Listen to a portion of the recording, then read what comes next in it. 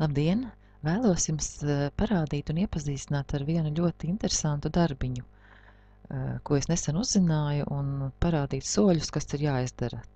Tā kompānija saucās White Pin Plus. Kad mēs ielūgojamies eh, back officeā savā mājaslapā White Pin Plus, tad šeit mēs redzam, ka mums šodien jāpaskatās, jāsalīdzina trīs bildītes – Tas deg krustiņš, kad mēs šo darbiņu neesam paveikuši. Tad mēs uzspiežam uz šī uzraksta, tad mūs savieno ar White Pin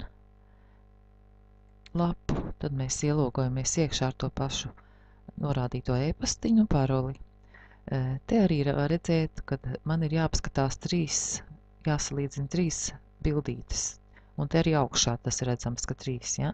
Es varu izvēlēties, vai man patīk kreisā pusē vai labā pusē bildīte, ja? Es izvēlos šobrīd, ka man patīk šī bildīte. Tālāk tūliņ būs redzams, ka man ir divas jāapskatās, ja? Nu, šis pūstens arī ļoti skaists, tas ar man patīk. Tagad būs vēl viena bildīte.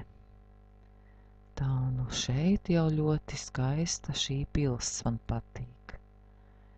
Tā. Tā, tagad man te būs redzams, ka es esmu padarījis darbiņu, redzat, man vairāk nav jāskatās.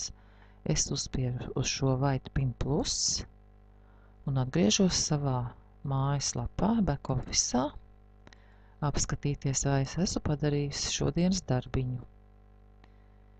Jā, es esmu šodien apskatījusies trīs fotogrāfijas, salīdzinājusi, man ir zaļš ķeksīts, ka darbiņš ir padarīts. Nu, lūk, te mēs katru dienu redzam, cik ir apskatītas salīdzinātas bildītes, jā, un šodien man samaksās 3 eiro par šo darbiņu. Un tādā veidā katru dienu skatoties, salīdzinot bildītes, 90 dienas paies, un 91. dienā jau varēs sākt izņemt nopelnīto naudiņu. Tālūk, ja jums interesē šis, tad sazinieties ar mani, es jums palīdzēšu, izstāstīšu visu, kas ir jādara. Visu labu!